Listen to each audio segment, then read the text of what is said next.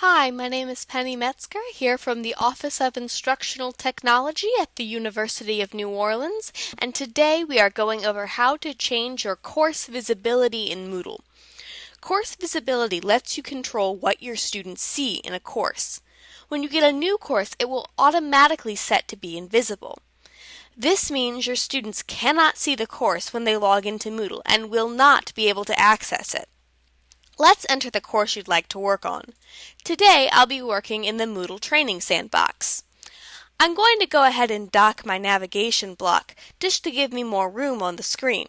If you need help with docking, we have a lesson on that, and I'll post the link to the video in the description. Now, to alter our course visibility, we're going to need to go to Edit Settings, here under the Settings bar.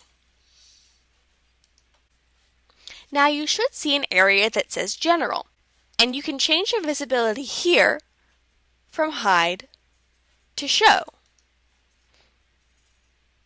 All you need to do now is just scroll to the bottom of the screen and click Save Changes.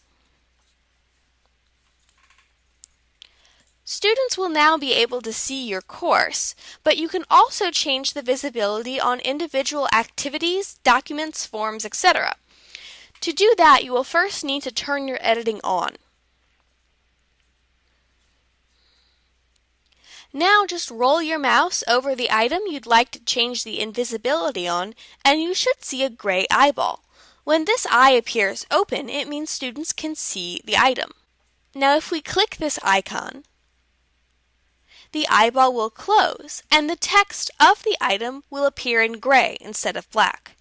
This means the item is invisible to students. To make it visible again, just click on the closed eyeball.